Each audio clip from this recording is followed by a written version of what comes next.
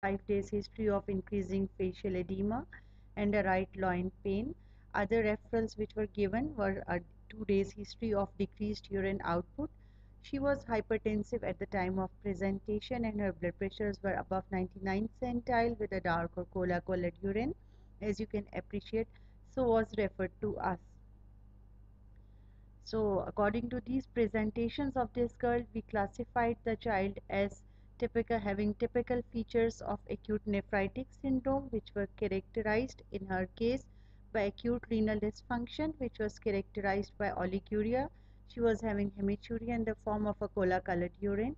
She was hypertensive and edematous. So the differential diagnosis of a patient who comes with this nephritic syndrome which is generally uh, classified by pathologies in the glomerular inflammation. It can be primary or secondary due to other infective or autoimmune diseases. We are familiar with the commonest infective etiology of post-streptococcal and autoimmune disease like lupus. I'll be discussing with you one by one. So her investigations were done. The positive uh, finding on her investigations was a decreased uh, GFR in the form of a increased serum creatinine levels she was hyperkalemic. Her hematology was normal. So we proceeded further. So this was the typical presentation, the gross presentation of her urine. This was a normal looking urine and she had this very dark or cola colored urine which is of a bookish picture. So the as we can appreciate and the urine uh, reporting turned to be a proteinuria which was a heavy proteinuria. She was having hematuria, uh, heavy hematuria and the dysmorphic RBCs which were uh, characterizing the glomerular involvement because any cases in which we get dysmorphic RBCs then the hematuria is considered to be of the glomerular origin. So what further investigation we would you would you like to perform? So giving her uh, presentations of acute renal failure with active urine sediment, we always call the active urine sediment in which we have hematuria, proteinuria, RBCs cast, so a primary or a secondary cause of glomerulonephritis should be entertained. So the commonest which comes in everybody's mind is a post-infective etiology and among the infections the beta hemolytic streptococci are the considered the most commonest culprit. You can perform the throat swabs to quantify the streptolysin O titers and anti-dsDNA antibodies. So the serological markers uh, uh, indicating the presence of streptococcal infection could be done. Other entities in which we can get a glomerulonephritis like picture are the SLEs and associated with it all the serology which is needed. I'll be discussing them in detail. You can have vasculitis which can present entities of Goodpasture syndrome in which we have renopulmonary involvement because of the anti-GBM antibodies.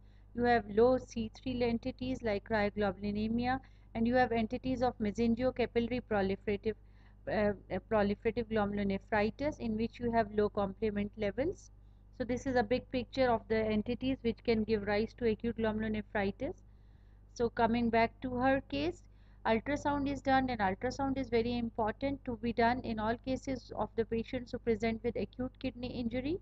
So the ultrasound of this girl showed two normal sized kidneys with no hydronephrosis or any obvious abnormality and the serum complements were done which show a low C C3 levels and borderline low C4. So this turned to be a low complement entity.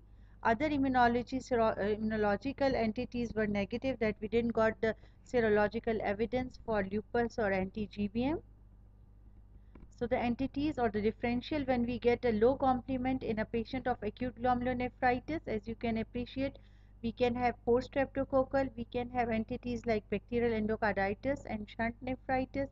Membranoproliferatives have low C3 levels, lupus have low C3 levels, while on the contrary, those with normal complements are the entities of IgA nephropathy, HSP nephritis, all the vasculitis which are associated with ANCA, and the entity of mesangial proliferative. So this mesangial proliferative is different from the membranoproliferative glomerulonephritis.